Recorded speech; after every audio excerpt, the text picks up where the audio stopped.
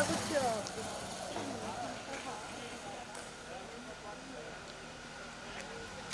आप लोग हम लोग नीचे गए थे। नीचे क्यों गए थे?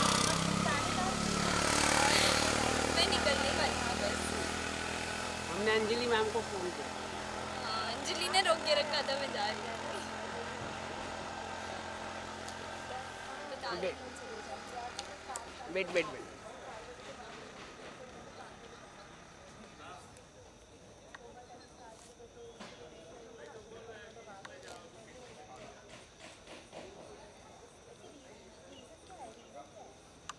सबसे पहले कॉन्ग्रेचुलेशन आपको बहुत बहुत। आ, आप बहुत ही ब्यूटीफुल लग रही है आज। क्या कहना चाहिए आपके?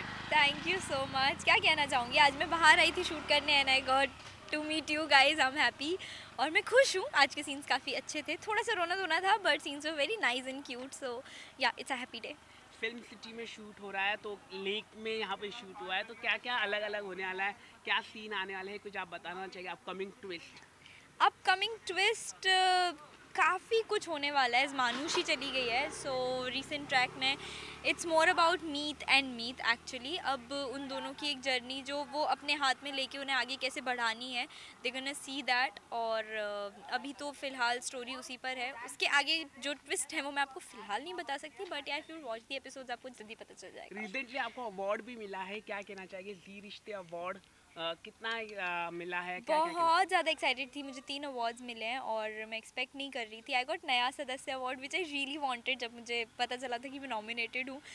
एक्सपेक्टेशन बिल्कुल नहीं थी पर मेरे को चाहिए था वो अवार्ड और मुझे मिल गया। I was actually surprise and happy and I can't express my feeling so I really thank everybody who supported me and yeah thank you आखिर में अपने फ़ैन से आप कुछ कहना चाहिए? I love you so much guys thank you thank you bye to bye bye bye